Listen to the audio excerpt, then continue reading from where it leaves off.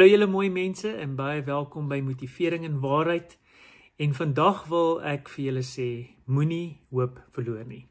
Daar is intedeel 'n spesifieke skrifgedeelte wat ek met julle wil deel uit Romeine 15 wat my baie gehelp het en ek wil dit saam met julle deel en dit bietjie oopbreek en vir julle die waarhede daaruit lig, want daar is 'n spesifieke beginpunt om by hoop uit te kom. Ehm um, So kom ons lees Romeine 15 vers 13 en dit sê en mag die God van die hoop julle vervul met alle blydskap en vrede deur die geloof dat julle oorvloedig kan wees in die hoop deur die krag van die Heilige Gees.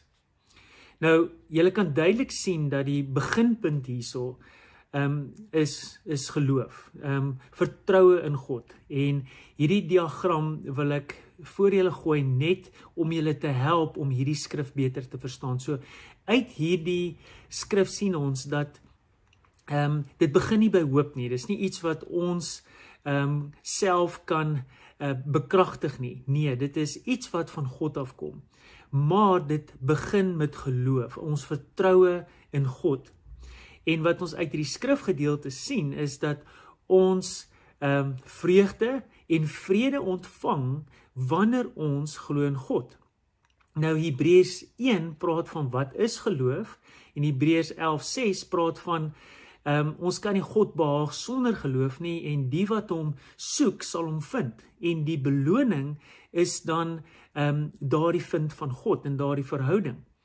Ehm um, wat ons dan ook sien in Nehemia is dat uh vreugde is bekragtiging want dit is wat ons krag gee daardie geestelike gawe en uh uh vrede wat 'n bonatuurlike vrede is gee vir ons die vermoë om helder te dink en oop harte te hê. Filippense 4 spesifiek praat daarvan. Hy sê moenie bekommerd wees nie, maar gaan na God toe met gebed en danksegging en dan sal jy vrede ontvang wat jou gedagtes en jou hart sal bewaar. So dit gee jou die vermoë en bekragtig jou om ehm um, helder te dink, ehm um, nie te stres nie en uit dit uit 'n hoop op God hê. So dit is nie wishful thinking nie, is nie duim vashou en hoop dit gebeur nie. Dit is uit 'n helderheid van verstand, 'n helder oop hart waaruit ons hierdie hoop in God kan hê. So dit begin met 'n geloof in God, 'n vertroue in God.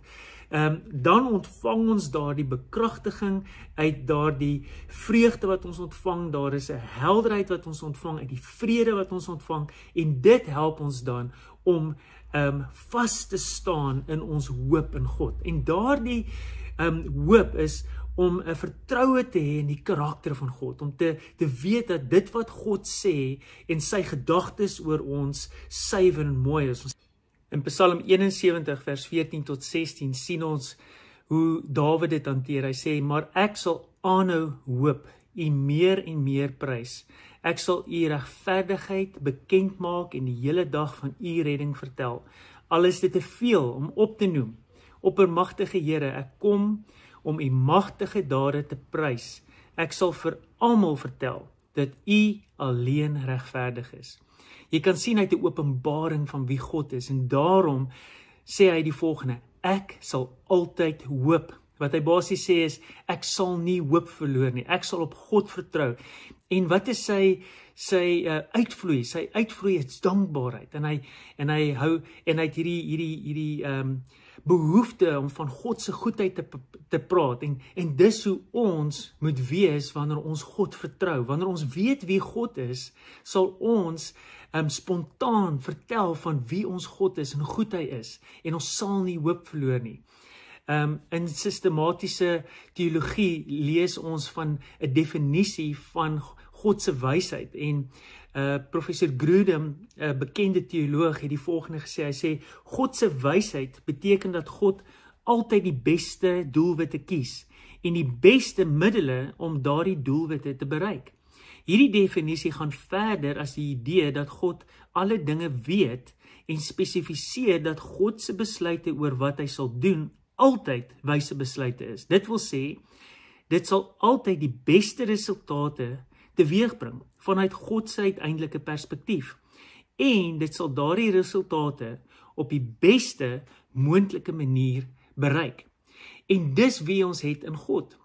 God weet die beste en die proses wat hy gebruik in ons lewens is die beste proses. So dis nie net waar ons moet uitkom nie, maar is ook die proses om daaruit te kom. En in dit is God. God is in die begin en hy's aan die einde en dis wat ons moet glo. So ek wil julle bemoedig. Moenie hoop verloor nie.